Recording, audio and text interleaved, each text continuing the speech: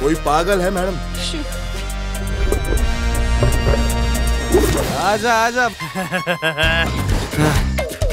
हरिदास जल्दी कुछ करो। हमारे पास बहुत कम टाइम है। और अब मैंने सोच लिया है। सीधे जाऊँगा तुम्हारे बाबा के पास और शादी की बात करूँगा। तुझे छोड़ूँगा नहीं मैं। वो तुम्हारा स्टार्टर बनाएगा और मेरा मेन कोर्स है।